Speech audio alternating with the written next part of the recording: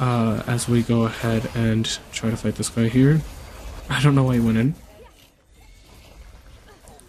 Ooh, the Thanatos is in as well. We're going to be able to kill him as well. Flick our mouse a bit. She's dead. Bruh. We're really far ahead. I don't know why they're going in one by one. They're super hardly throwing. I mean, she's level 14. Even if she ults, like, it doesn't mean much. I'm able to kill her. Hello, hope you're doing well, and welcome to a new video. Right before I get started, my Discord is down in the description. Uh, if you'd like to play or chat with me or anyone else in the server, uh, you can do that using that link down below. Uh, and we have quite a lot of people now, so you'll always have someone to play Smite with. Uh, secondly, the Twitch is also down there. I do stream daily, and the schedule is in the Discord as well. With that out of the way, let's get started. Alright, so we are playing Sol. Uh, now, Sol is obviously very powerful uh, in this current meta. Uh, the new item has made that possible. I think the mage uh, ADCs kind of... Oh, he's gonna die. Rip. Uh, the mage ADCs were pretty good. Like, they weren't underbalanced. Uh, but when, you know, you have tanks building heavily into health, and even if they're not, uh, you know, mages and the ADC role had a answer up against uh, the tankier targets through protections, but they didn't really have anything up against healthier uh, characters that buy into some health items alongside some protection items.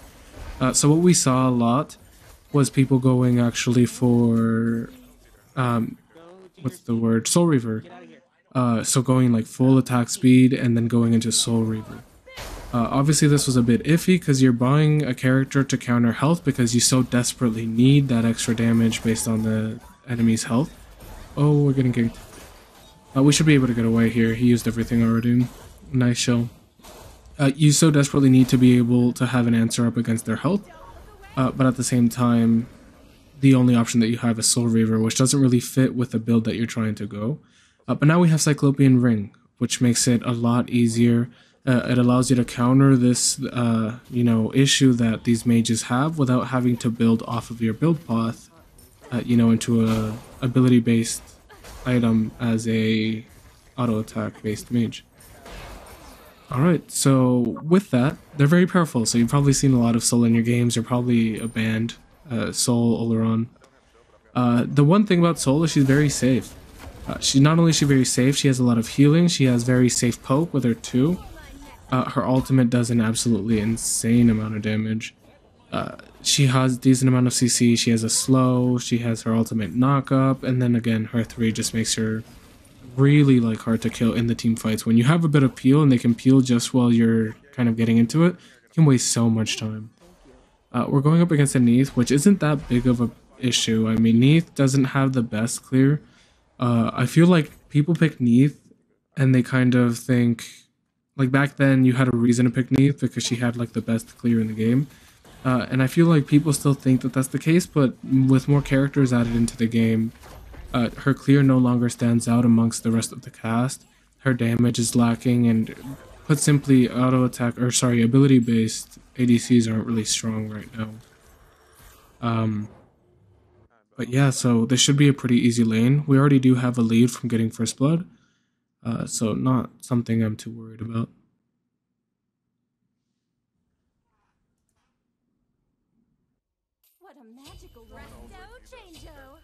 When people played uh, Single Ladies by Beyonce backwards and thought she was worshipping Satan? We are not gonna have money. An enemy has Exactly. There we go. Oh my god. that part always makes me laugh. Amazing. You have like eight archers here. Alright, so in every game that you start, you want to kind of think of a goal that you have in mind, right? Uh, what is your goal, uh, for example, with the pick that you're picking? Right? Uh, so just to give you some example of some goals that might be good to have here, as we probably will kill her. She has to jump away. Uh, she uses the shell, but the alt does a lot of damage. The 2 will slow her. Yeah, there's no way she was getting away from that. The minute she, like, I walked behind her, you guys saw, uh, if you guys uh, were paying attention, I walked behind her in preparation for her dashing away, or rather leaping away, backflipping, whatever you want to call it. Uh, so I was in a good position to follow up off of her escape. This guy should die as well. Oh, unfortunate. I'm gonna dive him. I mean, I only need to hit one ability and I'm faster than him. Nice. Uh, so as I was saying, you want to have a goal in mind. Just to give you a couple examples, is your goal to kill the squishies as fast as possible, and this applies for every role, not just carry, uh, mid, solo. Uh, are you trying to pressure the mage? Are you trying to pressure the assassin? Are you trying to pressure the enemy hunter? Right?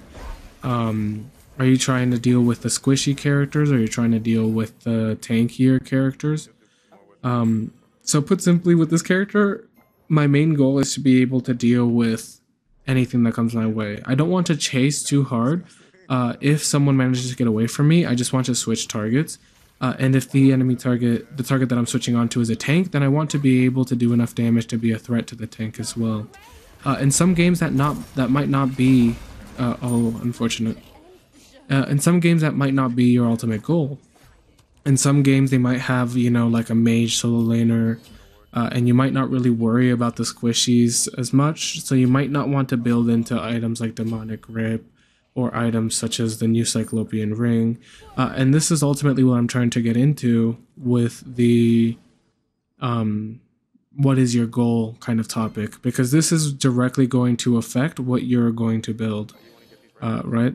So, considering my goal is to kind of do consistent damage and be able to deal with anything that comes my way and provide my team with support no matter whether they're squishy or tanky, uh, then I have to build a bit towards both, right? Telkhines Ring to do extra damage based on my power. Uh, we're going to go the Demonic Grip. We're going to go the, what's the word? Cyclopean Ring. And we'll go into a build a bit later once I have a bit more of the build built, build built, so I can explain what it does alongside, you know, some gameplay. Uh, but for now, I want you to just make a habit of every time you join into a game, look at the enemy team uh, kind of say who am I trying to avoid, who am I trying to take care of, uh, and these things might change throughout the game, right? Uh, you might go in with the goal uh, as a mid laner, for example, of trying to just one shot the squishier characters. Uh, but then you find that you're having a lot of trouble up against the enemy solo laner uh, and the enemy support, and maybe they even have a tankier jungler, such as like an Achilles jungle or something. You have to go ahead and change your goal at that point uh, because if the tanks aren't allowing you to do anything, nothing is going to change, right? They're still going to keep not allowing you to do anything at that point uh, if it's working out so far. So then you have to change your strategy from maybe one-shot items such as of Tahuti, uh, you know, the high power items with not a lot of pen, or even, uh, you know, flat pen, and you're going to have to build into more percentage pen as opposed to the flat pen. Uh, maybe even throw in something like a Soul Reaver uh, so I'm just trying to kind of show you guys what I mean by pick a goal so you can build accordingly. Um, but yeah, in regards to this specific game, uh, our goal again is to do consistent damage about everyone because the truth of the matter is, uh, Sol can't really dive and she doesn't have, like, she's not like a mage where she could just like shoot past the enemy. Oh, she does. Yeah, I was just gonna take the tower and kill her. I don't know what that was. Uh, she's not a mage that can just shoot past the tanks and towards the backline, like someone like Morgan Le Fay could, where she can just cast her one across, or Scylla can her, cast her two across. Uh, you know, this this is a character that gets body blocked. Her three you really don't use as damage. Sometimes you do when you're backing up. Uh, this Thanatos should die here. Uh, sometimes you do use it as damage, but at the same time, oh yeah, this guy's gonna one shot. Oh Morgan, we're just gonna keep auto attacking here. We need to keep life stealing so we can keep ourselves alive. And nice, we're able to get her. Uh, we'll go ahead and call Gold Fury here, see if the team wants to follow up on this Gold Fury. Uh, like I was saying, her 1 is very close range. Her 2 gets body blocked by any tank that's standing in the way. Uh, her 3, obviously you don't use as damage in the late game team fights team fight team fights. Sorry, uh, you use it as an escape, and occasionally as damage. But even then, it's close range damage because you're not going to walk past the tanks into the backline with the three and then just kind of be left with no escape. And then the ultimate is kind of just used for the knockup because it's very hard to hit, you know, multiple percent or you know multiple shots, if you will. Uh, so yeah, this is something that I want you to think about. Uh, you're going to have to deal with those tanks because you're not going to be able to bypass them with this character like other characters would be able to.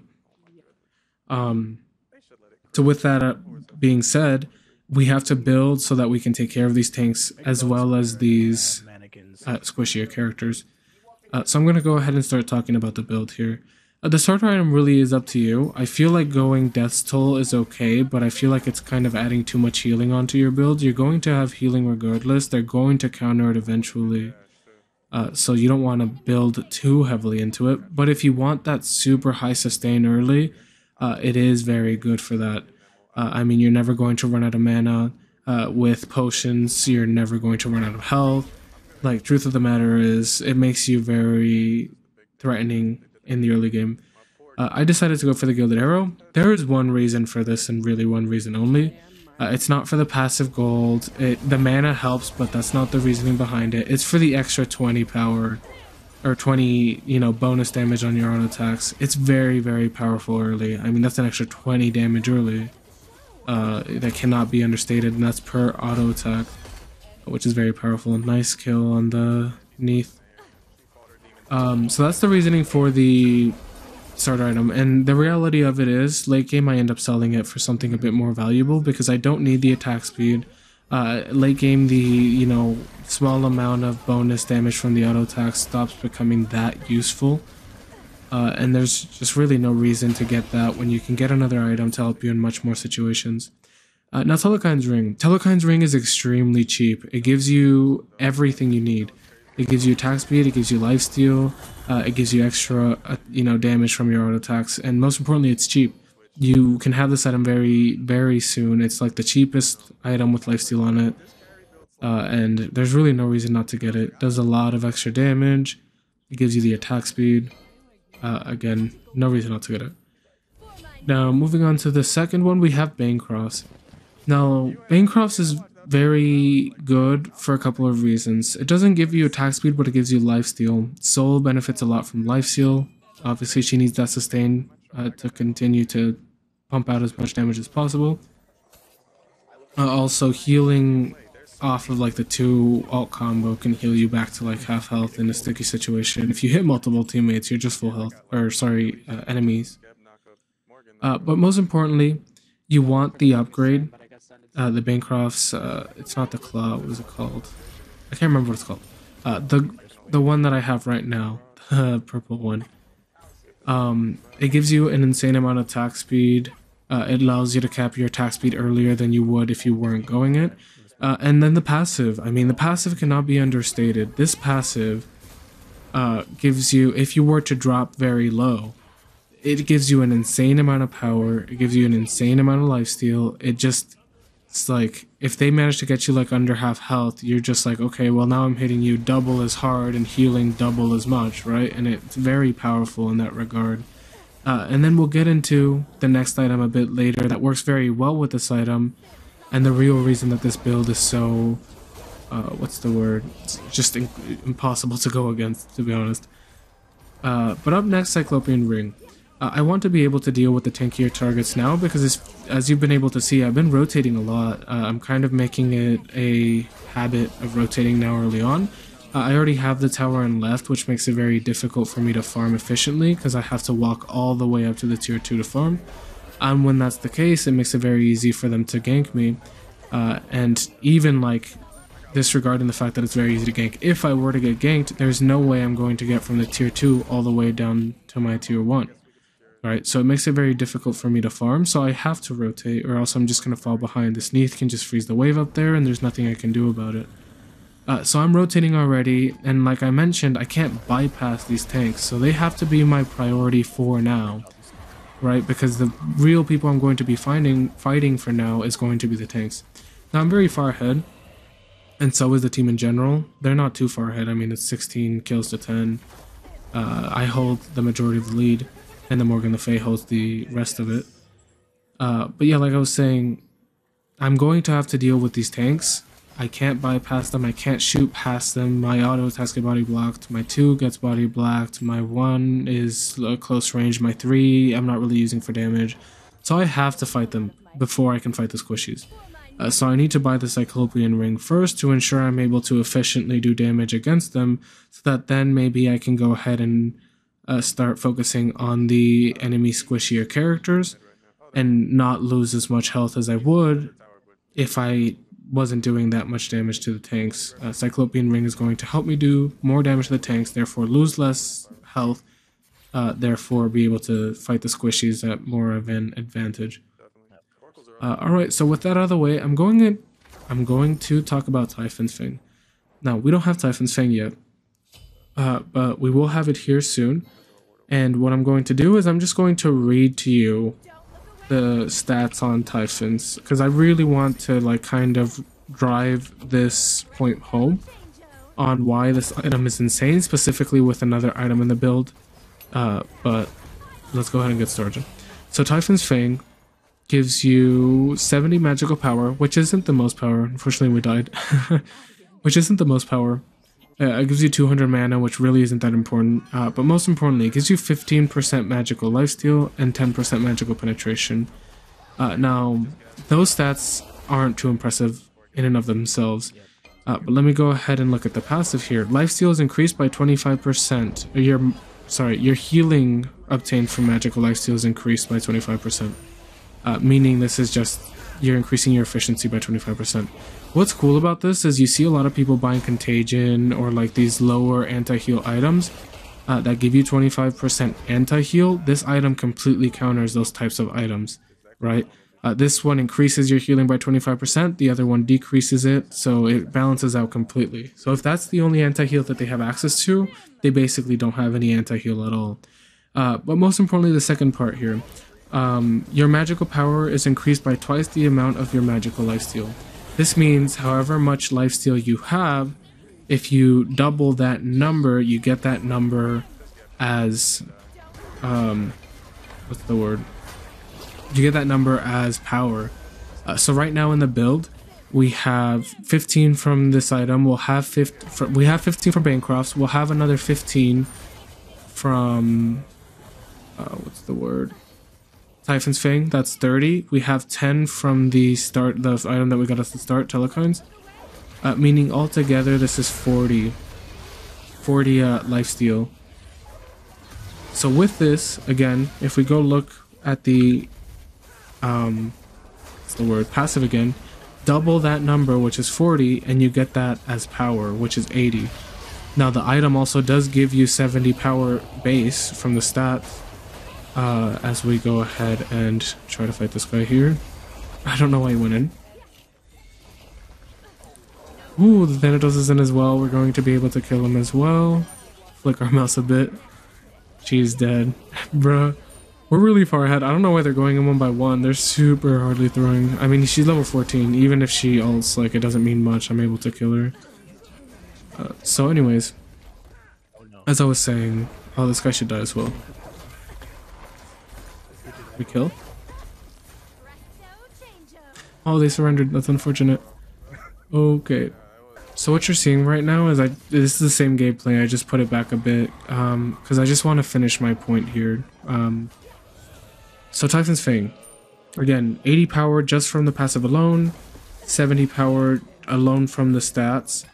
Uh, and again, you're going to have more lifesteal eventually, so this number is going to go up, but just so far in the build after we get the Typhon's Fang, uh, this item is going to give you 150 power. What other item will give you 150 power and 10% penetration for stats, and obviously the mana as well, uh, which doesn't really matter as much. And then also increase your healing efficiently, efficiency by 25%. So you can see how powerful this item is. Uh, now, remember I mentioned an item that pairs very well with this item? Bancroft's Talon. Bancroft's Talon does two things with the passive. The lower you get, the more lifesteal you get, and the more power you get. What's nice about this is, the lower you get, Bancrofts will give you more power and more lifesteal. When you get more lifesteal from Bancroft's Talon passive, you get more power from Typhon's Fang passive. So both of these items put together when you're under half health just straight up like max you out in power just with these two items together. Uh, that we've got, you know, uh, Bancrofts increasing your power and lifesteal, Typhons increasing your power and lifesteal, both together, right? And with more lifesteal from Bancrofts, it's more power from Typhons. And with more, you know, power from Typhons and lifesteal from Bancrofts, it's more healing because of the 25% increased efficiency with Typhon's Fang. Uh, so you can see just how powerful this ends up being. Um, final item, you could go into something like a Polynomicon. Uh, you could go into Haste Ring if you're having trouble keeping up with people, but I really don't recommend Haste Ring because it's just not high enough power. Uh, but even something like a Rod of Tahuti for some raw damage, or some more Flat Pen, Speed of the Magus is fine, giving you uh, power, penetration, and lifesteal. Uh, it really is up to you. If you want to counter build with some anti-heal, uh, Toxic Blade, Divine Ruin is fine. It's really the sky's limit with the very last item. It really is up to you. Uh, Polynomicon is something that I would recommend highly, and late game you can sell your starter item for any other counter item, so you don't have to not get the Polynomicon. Um, so that's the build. Again, I hope you enjoyed. I hope you learned something. Truth of the matter is, with this build, you have Demonic Grip and you have Cyclopean Ring, which allows you to deal with the tanks. But again, Typhon's Fang and Bancroft's Talon put together allows you to have an insane amount of power, especially when you get, you know, to those lower healths, like, you know, 50% or a little bit under uh, 50%. You're going to be like at 800 power just from these two items alone. Uh, so, again, I hope that kind of shows you guys perspective. Uh, perspective on how you're able to deal with both tanks and the squishier characters. Uh, and I hope you guys enjoyed, learned something. Um, like I mentioned, I stream every uh, every day, every day. Uh, Tuesdays and Wednesdays are a bit longer of a stream at eight hours, uh, and then every other day is five hour long stream. The schedule is down in the description if that's something you're interested in. Oh, well, not the schedule, but the Discord is down in the description. You can join that. The schedule is in there, and also you have a community to play with uh, if that's something you're interested in. Uh, anyways, you guys have yourselves a great day. Bye.